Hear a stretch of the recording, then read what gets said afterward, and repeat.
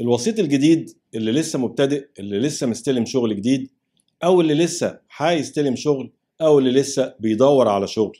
دايما مشكلتهم أول أسبوع وأول شهر. يعملوا إيه؟ يتصرفوا إزاي؟ إيه اللي المفروض يعملوه؟ خصوصا لو مفيش حد بيساعدهم في الشركة. يبتدي إزاي؟ هي دايما دي المشكلة. وأكبر مشكلة وهي فعلا مشكلة النهارده هنحاول نساعدكم تحلوها. أنا أشرف علام واهلا بكم في المخبر العقاري.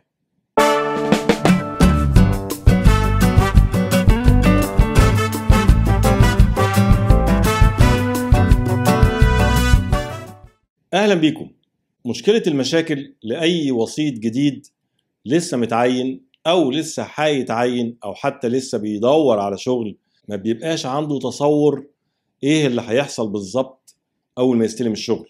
طبعا الموضوع جديد عليه. وبيبقى عايز حد يساعده حد ياخد بإيده ويفهمه يعمل إيه.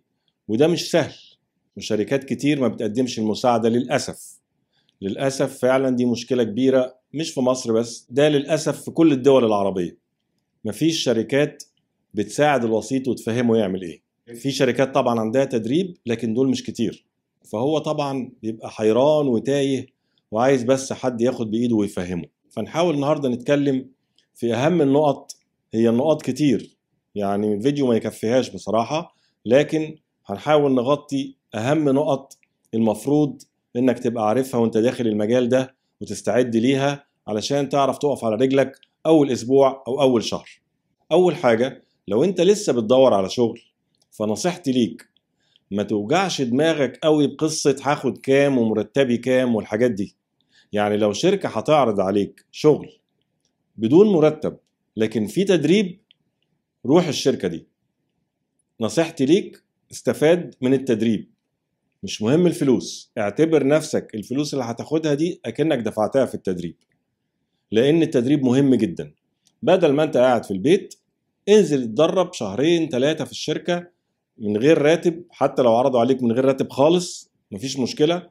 راتب قليل ما توجعش دماغك كتير هتاخد كام. اوجع دماغك المهم بانك هتتدرب إزاي؟ هيعلموك إزاي؟ هل عندهم فعلا تدريب ولا لأ؟ تتأكد من الموضوع ده وتبتدي تنزل. لكن في أي حال من الأحوال ما تبصش للموضوع ده. أنت تبص للشركة كبيرة شركة المكان بتاعها المكتب نفسه يكون مكتب يساعدك على الشغل. فدي أول نصيحة. الحاجة التانية إن الشركة دي يكون فيها team leader يعني هتخش تشتغل مع team مش هتدخل تشتغل لوحدك. يعني لو مفيش حتى تدريب يكون في team leader عندكم team leader أنا هشتغل مع team لا ما عندناش team leader إحنا ما بنشتغلش بالنظام ده إحنا كل واحد بيجي بيشتغل لوحده.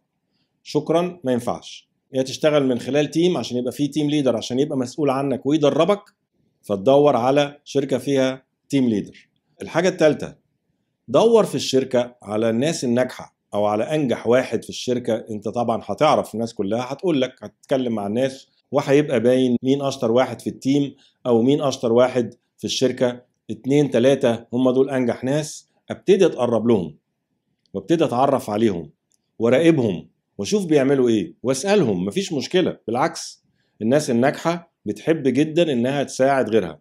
فأنت تتعرف عليهم وتشوف بيعملوا إيه ودايما تسأل تسأل تسأل. كل ما تحتاج حاجة اسأل حد منهم علشان تتعلم. دول يبقوا المثل الأعلى بتاعك.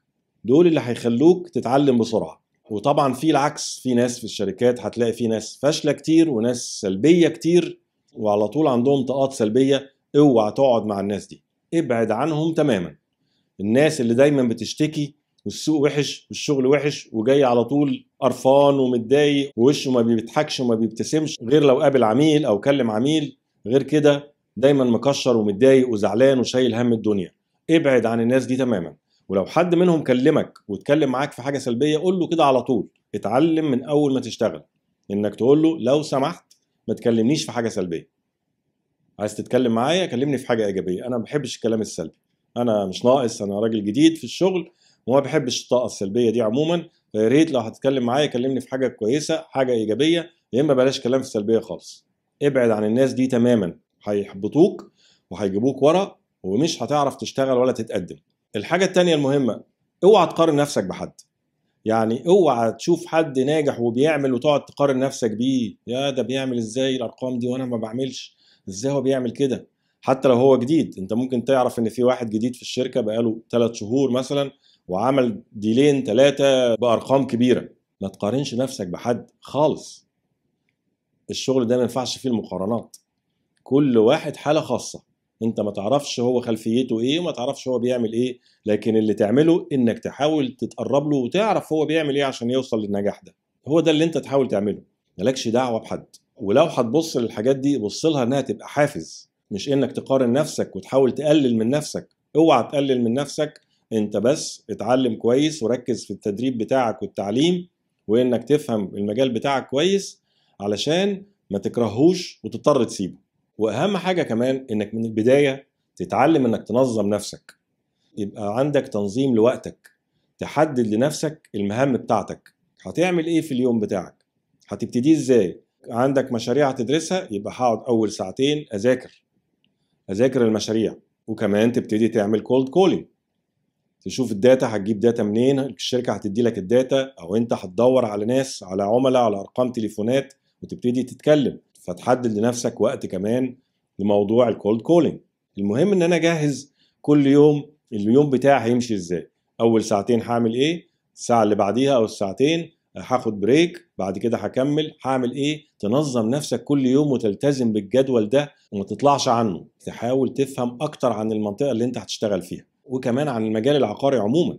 تقرأ وتثقف نفسك. الحاجة التانية إنك تعمل لنفسك target سنوي.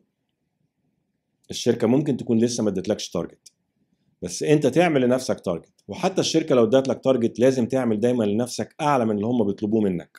ما تحلمش أحلام صغيرة أنا عايز 5000 في الشهر و7000 في الشهر و10000 في الشهر. لو دي أحلامك روح اشتغل في محل وقف فيه وخلاص. روح اشتغل بقى في أي سوبر ماركت في كارفور في زارا في أي حاجة من الحاجات دي. انت بتشتغل الشغلانة دي عشان إيه؟ عشان تعمل 5000 و7000 ما دول سهل جدا تاخدهم من أي محل تقف 7 8 ساعات وخلاص وتاخدهم. لكن دي مش أحلامك أو مش مفروض تبقى أحلامك فلازم تحلم كبير. على الأقل تحط لنفسك تارجت 30 40 ألف في الشهر. دي أقل حاجة يعني في حدود النص مليون. في حدود نص مليون جنيه أو نص مليون درهم حسب البلد. المهم إن أنت تعمل رقم كبير مش أقل من 30 أو 40 ألف. لازم الرقم ده يكون دايما ثلاث أو أربع أضعاف الراتب العادي بتاع أي شغلانة عادية في السوق. وإلا ما يبقاش ليها لازمة شغل المبيعات ده يبقى ملهوش لازمة. تدخل 30 ألف صافي ليك في الشهر. إذا أنا أبتدي أحدد ال target ده وأبتدي أشوف اعمل إيه عشان أحققه. هو ال target ده محتاج كام مليون شقة بكام مليون أو عدد شقق بكام مليون أو عدد فيلل أو أو أو المجموعة يعني حسب بقى أنت العمولة بتاعتك هتبقى كام. أحسب المبلغ اللي المفروض أدخله علشان أجيب العمولة دي. فألاقي المبلغ مثلا 10 مليون في الشهر يبقى أنا لازم هو ده ال target بتاعي. اعمل ال target ده واخليه هدف قدامي. أنا لازم أحقق 10 مليون. 10 مليون دول يعني كل أسبوع 2.5 مليون. اذا أنا كل أسبوع لازم أبيع شقة ب 2 مليون ونص أو شقتين أو ثلاثة whatever اللي هبيعه. المهم إن أنا لازم دايما أزق نفسي إن أنا اسبوعيا لازم آخر الأسبوع أكون عامل حاجة ب 2 مليون ونص.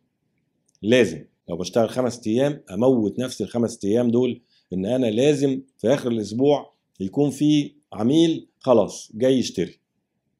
لازم target لازم تحط لنفسك target اوعى تشتغل من غير target اوعى تشتغل كده الهلي زي ما بيقولوا تشتغل كده وخلاص زي ما تيجي تيجي وربنا يسهل. ده مش شغل ده مش احتراف ومش هتعرف تعمل فيه فلوس ومش هتنجح وهتكره الشغل وهتسيبه. اشتغل دايما بتخطيط.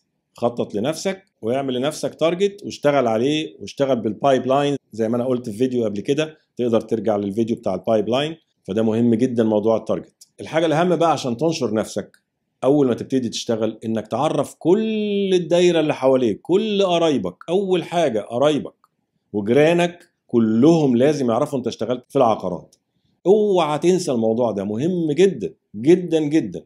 حتى لو تعرف محلات أصحاب المحلات اللي حواليك دول مهمين جدا. الناس اللي حواليك دول أهم حاجة الدايرة اللي حواليك. وبعد كده طبعا أصحابك على وسائل التواصل كلها.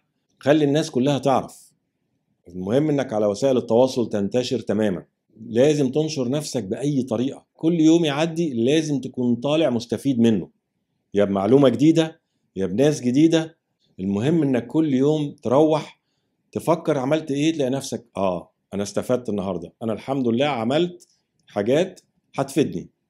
ما تستعجلش. كل اللي بتعمله ده انت بتأسس لمستقبل فما تستعجلش النتائج. المهم انك تفضل مستمر وتحس انك كل يوم استفدت من اليوم. ما رحتش الشغل زي ما رحته زي ما رجعت. مفيش أي حاجة جديدة؟ لا طبعا بايه لازمته؟ لازم تخرج من الشغل وتروح البيت كده وانت في دماغك حاجة جديدة اتعلمتها النهارده أو حد جديد اتعرفت عليه. كل ده هينفعك. اصبر واحدة واحدة كل ده هيصب في مصلحتك مع الوقت. المهم إنك تستمر بلا توقف. دي كانت طبعا نبذة سريعة لأن طبعا عشان نتكلم في الموضوع ده طبعا عايزين كورس لوحده لكن ده كان اختصار علشان وقت الفيديو. اتمنى طبعا تكونوا استفدتم منه. وطبعا بفكركم بإن عندي كورس في مصر يوم 14 و15 و16 يناير. هيكون في فندق في منطقة التجمع. اللي يحب يشترك في ال course هيبقى فيه ال link تحت الفيديو. تقدر تدخل على ال link وتسجل. وفي ناس هتكلمك وهيقولوا لك الإجراءات اللي تعملها إيه ويتابعوا معاك. وأنا نازل مصر الأسبوع الجاي عشان أحضر لل course هكون موجود يمكن لفترة أسبوع أو 10 أيام.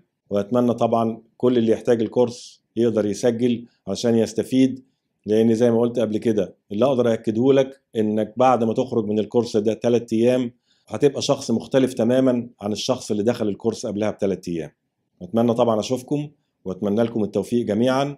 وطبعا كالعادة ما تنساش الاشتراك في القناة تفعيل الجرس و like لو عجبك الفيديو والاشتراك في قنوات التواصل الاجتماعي بتاعتي كلها موجودة تحت الفيديو وتعمل share لزمايلك في المهنة علشان الكل يستفيد وأشوفكم الفيديو الجاي. شكرا.